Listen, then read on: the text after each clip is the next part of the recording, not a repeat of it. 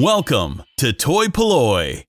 Hello and welcome to another video from Toy Polloi and today we are reviewing three more figures from Stan Solo. On the left we have the A-Wing pilot, in the middle we have General Lando Calrissian and on the right we have the Imperial Dignitary. Now these are all retro versions of the last 17 figures and as with all of uh, Chris's figures they are really nicely made. So let's take a closer look at them and I'm going to compare them to the vintage originals that I have in my collection. First up we have the A-Wing pilot. Now the A-Wing pilot is uh, one of the last 17 figures and it's actually quite a hard one to come by. I think over the years I've only actually managed to find two to add to my collection. So this one on the right is a vintage original A-Wing pilot and the one on the left is a retro version as created by Stan Solo. So let's take a closer look at that figure. As you can see he comes with this tiny little blaster. These are the sort of blasters that I pretty much instantly lost as a child so uh, it's amazing that any of them have survived. Uh, this is a nice recreation of that tiny little blaster. I think it's the same one that the uh, Endor version of Leia holds. As you can see, it is tiny and very easily lost. Uh, but then we have the main figure, and as you can see, he comes in this nice sort of, I'm going to say it's sort of camo-coloured green uh, jumpsuit. On the back of it, you can see that the uh, copyright information has been replaced, so it now says SS on there. And all the detail of this figure has come across really very nicely. He's got a very minimal paint application to the main parts of his body, so he's got black boots, uh, flesh-coloured hands, and then this little bit of a sort of uh, jacket in black there with some silver on the front.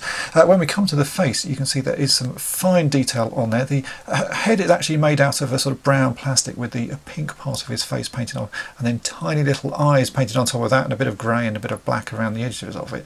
It's a really nice uh, copy of the original. If I bring in my original one here you'll often see that these originals have the noses rubbed off and the paint on the top of them rubbed away so it's nice to be able to get one that as you can see doesn't have any of that damage to it and if I hold them up together. When we compare them you can see that it is really is a very good copy of it. I think my vintage original one here actually has a little bit of sun damage to it. So as well as the uh, paint rubs on him uh, the green part of his outfit's gone a slight yellow colour which is uh, why it looks slightly different to the one from Stan Solo but otherwise these are very good copies indeed. Uh, if I was going to be overly picky on this which I've sort of been saying on the last few reviews I think the face is possibly a little bit thinner on the Stan Solo version but that really is quite minor Otherwise, as you can see, it's a very good recreation of uh, the last 17 A-Wing pilot. Next we come on to General Lando Calrissian as you see him in Return of the Jedi.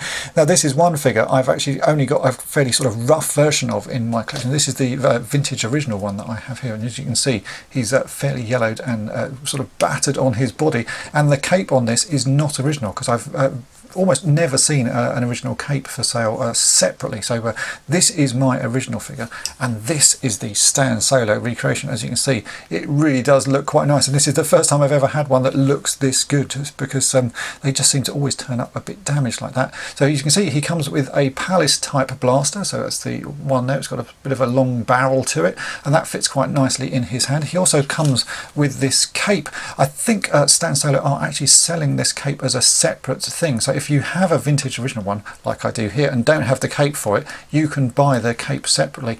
Uh, I've seen other uh, sort of uh, reproduction capes for sale over the years and they do it wrong uh, because the original uh, Lando cape is actually sewn at the front. A lot of the reproductions that people sell on eBay don't have that bit sewn they just cut a hole in a piece of fabric. That's not correct so I know Chris has paid uh, close attention to how these capes were made and has done it properly with a little bit of sewing there on the front. If we take a closer look at the figure you can see we have Lando there. He's got little bits of paint detailing on him, so we have some silver on his lapels there, a little silver badge on the front, and then you can see he's got a gun holster that goes all the way around the back, and some nice shiny black boots. If we compare this to my original one here, I'll just bring that in, you can see it really is a very good recreation of this figure. As I say, my original one is a bit on the yellowed side and a bit worn. There's quite a lot of paint uh, sort of gone missing on his holster there, but you can see if he wasn't yellowed, that would be a very good uh, copy of it. And as I say, this cape on my one is one that I uh, made a long time ago. In fact, I have a video showing you how to make your own Lando uh, general cape. So I'll put a link to that at the end of this video if you want to do it for yourself. But as you can see, yeah, that's a very nice copy of uh, this uh, vintage figure. If we turn it over again, I will show you on the back of his leg, you can see it says SS, where the original copyright information would have been, has been replaced with the SS. And I don't actually show you this on sort of most of the figures. It does have the same articulation as all of the uh, vintage ones. I sort of uh, given up showing you that because I assume if you know Star Wars figures, you know that the articulation is five points of articulation. You can rotate the head, you can rotate the arms, and you can rotate the legs. That is all the articulation that these vintage figures have. I don't show it on every figure because basically it's the same every single time. And if we look at the bottom of his feet, you can also see there are holes there where you can plug that into different parts of different playsets. But the figure itself, as you can see, looks incredibly nice. And it's really nice to be able to finally have one that I can put on display that actually looks like the figure should have done, doesn't have the uh, yellow chest that I have there, and also has the correct cape because uh, this one that I made here is the wrong colour. It's a bit too light and a little bit too shiny, but it was the closest I could get to the material. So I think I may end up buying another one of these uh, reproduction capes just so I can put it onto this Lando so he looks a little bit better than he does at the moment. But on the whole, I think this one may end up in my uh, main display as it is. And finally for this review, we have the Imperial Dignitary, one of those blink and you miss it sort of characters. He's seen very briefly in the background in a few shots on the second Death Star in Return of the Jedi. Now this one on the left is my original uh, sort of vintage version of the Dignitary. He's a strange figure, he doesn't come with any accessories, he's made all out of purple and he looks a lot like uh, the Emperor, so he's got these sort of big thick legs that have a sort of skirt built in. Now if you collect uh, vintage figures you'll know that the Imperial Dignitary is almost impossible to get without a rub on his nose. You can see here this one, the end of his nose has rubbed off. So it's really nice to be able to get a newer version of the Imperial Dignitary that doesn't have that rub on his nose. Now I will say about this figure, this is a second. It's not one I bought direct from Chris at Stan Solo. He had a few seconds that had some blemishes and a bits of wrong with them that he sold to someone else and I bought this off eBay because uh, Chris didn't have any in stock when I wanted to get one. So this isn't a perfect version of the figure. Uh, it actually has a tiny little rub above his nose, so not on the end of the nose, but you can see some paint has not been applied properly. If you buy the originals from uh, Stan Solo, then uh, it won't have any of these uh, problems because I know Chris is very careful about what he sells. So uh, this, as I say, is a second. It's not a perfect example, but I wanted to get it just so I could film this video. So as you can see, it is a good uh, recreation of the figure. Uh, the copyright information on this one, I can't actually remember where it is. It might be inside the leg. It is. So if I show you, this is the original figure. In fact, the original figure doesn't have any copyright information. Oh, it does. There you go. It's on the right leg. And on the Stan Solo version, it appears to be on the left leg. You can just about see SS printed there. And the right leg is blank. This is an old figure. It's one that I never particularly wanted to have in my collection, but over the years I've actually ended up uh, picking up three of the vintage ones now because uh, I've sort of put them with my Imperial army. So I have Darth Vader and the Emperor, and I've got a couple of these guys sort of standing behind him.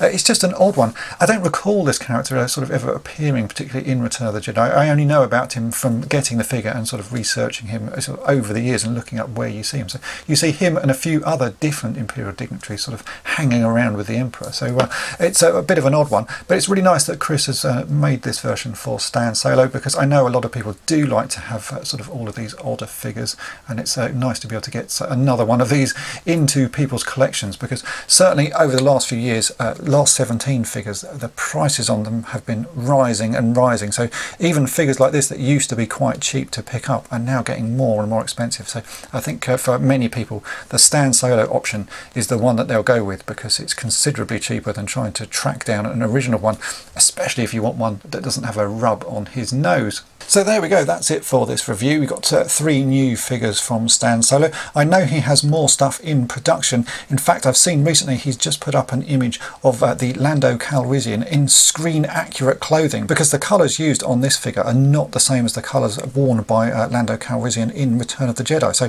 what Chris has done is taking this figure and repainted it so that it will match the uh, shots that you see of Lando in the movie. He has blue trousers and different colour outfit and a different colour cape.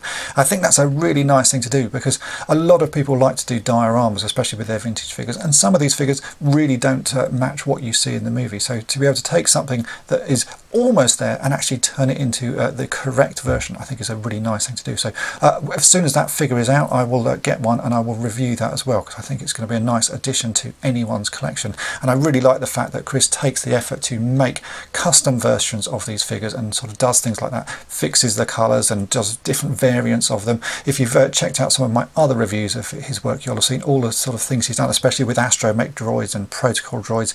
He's done all sorts of custom versions of those in different colors and different stickers and that and they really do look amazing so I'm going to be quite excited when the screen accurate version of uh, General Lando Calrissian comes out if you've enjoyed this video then why not hit the subscribe button and tap the bell to be notified each time I upload a new video and thanks for watching Thanks for watching Toy Polloi. Subscribe for more great videos. You can also follow Toy Polloi on Twitter, Facebook, and Instagram.